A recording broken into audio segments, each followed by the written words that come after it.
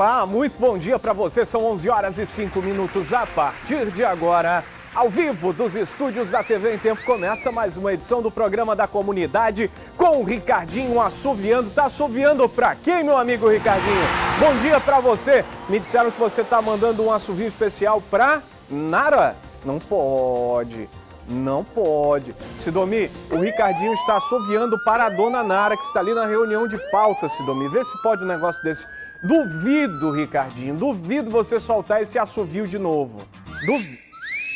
Ah, brincadeira não, hein? Vamos deixar. Ah, olha, hoje também aqui nos bastidores do programa da, da comunidade, Tatiana Sobreira ali acompanhando tudo, Sidomi. Tatiana Sobreira acompanhando tudo daqui a pouco, né? Ela tá ali preparando o Fome de Tudo, né? Um programa de muita repercussão. É, Tatiana Sobreira tava me contando a repercussão do programa. Por motivos óbvios, é, óbvios eu não, posso, não posso repetir aqui o que ela tava me falando ali nos bastidores. Um abraço, Tatiana. Parabéns pelo programa.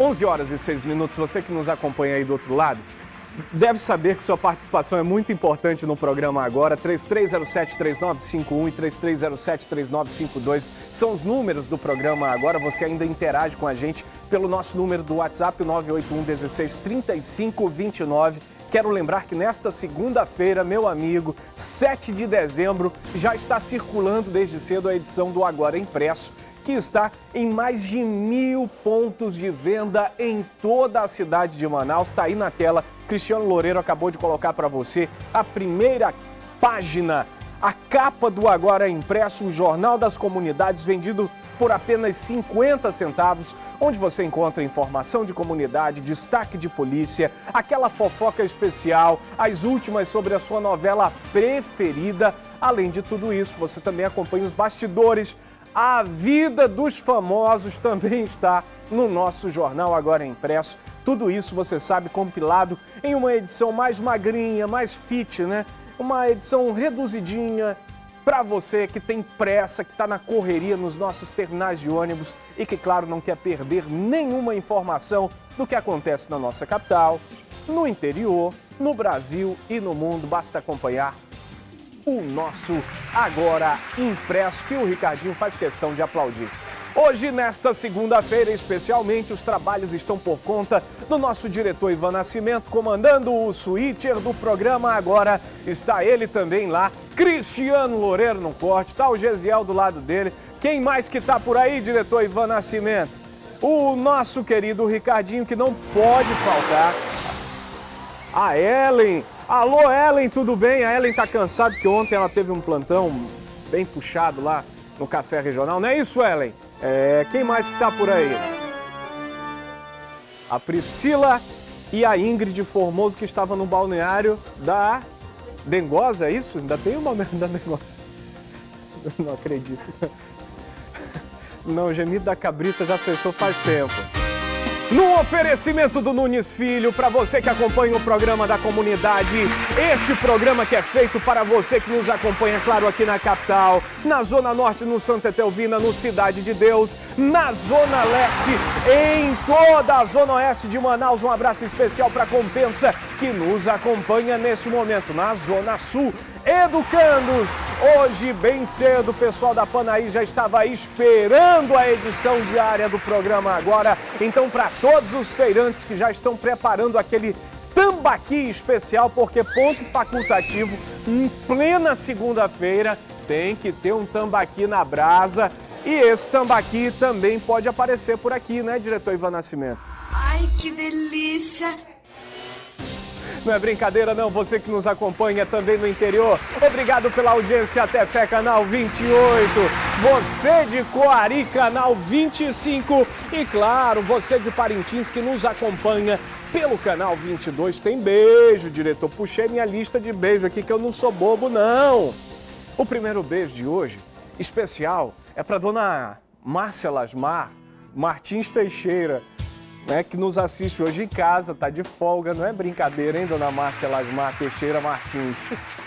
Ou é Martins Teixeira, diretor? Eu esqueci agora a ordem. Mas a ordem dos fatores não altera o produto. Marcinha, que está preparando aquela farofa com farinha do ariniba, nana frita e camarão, para acompanhar, é lógico, aquele arroz de tacacá, que é feito com jambu e tucupi, e um tambaqui assado de forno, porque não dá para fazer na brasa lá, né, Marcinha? Beijo especial da equipe do programa da comunidade. Estamos com saudade. Aproveite sua folga merecida. A gente se vê na quarta-feira. Ricardinho, não vai soltar um beijo não especial para dona Márcia? Hã? Ah, pensei. Pensei que não ia ter o beijo. Tem beijo especial para dona Manelinda. Alô, dona Manelinda da comunidade Nossa Senhora do Perpétuo Socorro assistindo o programa agora. E também para o Richardson, Richardson de quatro aninhos, que é o filho do Renato, nosso Djavan, e da Poliana. Renato fez aniversário nesse fim de semana está comemorando ainda o nosso querido Djavan, que foi obrigado a cortar as madeixas. Eu não sei por quê. Não sei. Depois que o diretor Ivan Nascimento é, derrubou né, uma situação ali de que a cabeleira do Djavan lhe fornecia algum privilégio, é, foi, foi obrigado a cortar o cabelo, diretor. Nem reconheci quando os vi pelo corredor, pelos corredores aqui da TV em tempo. É brincadeira o que fizeram com ele. Dona Lúcia também recebe um beijo especial da equipe do programa da comunidade. Tá geladinha a água, dona Lúcia? Tá ok? A água tá geladinha? Beleza, então. Sai correndo desesperado. Dá nem tempo do, do Sidomir fazer o foco. Gente boa! Aquele que está ao telefone ali é o querido Franklin Moura falando com o Edinho, preparando tudo também para o feriado. Ele vai estar de folga. Está perguntando se o churrasco está confirmado. Tá tudo confirmado. Você de casa, obrigado pela audiência. São 11 horas e 12 minutos. O programa da comunidade de hoje traz destaque para você. Ao longo desta edição, você vai acompanhar informações que vêm direto de Parintins. Nossos repórteres mostram mais uma vítima da guerra contra o tráfico.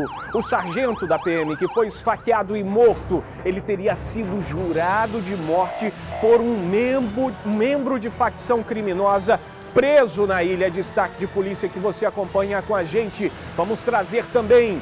Polícia Federal destrói 3 toneladas de drogas aqui na capital. O entorpecente, avaliado em 25 milhões de reais, foi incinerado na Zona Leste. E ainda nesta edição nós vamos mostrar para você. Olha, é um caso de polícia e uma execução sangrenta. Mãe e filho acabaram mortos com mais de 50 facadas dentro da casa onde moravam na Compensa, zona oeste de Manaus. Acredite, o principal suspeito é o namorado da vítima. O caso é investigado pela Homicídios e o programa agora traz detalhes para você.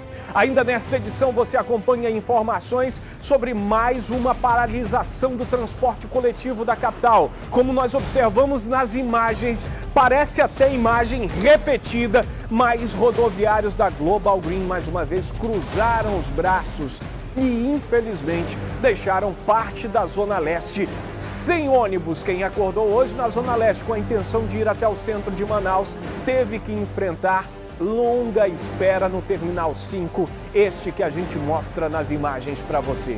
São 11 horas e 14 minutos. Com a sua participação, o programa agora começa para as comunidades que nos assistem na capital e no interior, trazendo polícia, destaque de comunidade, a participação direta do telespectador e a sua denúncia na tela. 11 e 14, obrigado pela audiência. Nós já estamos no ar.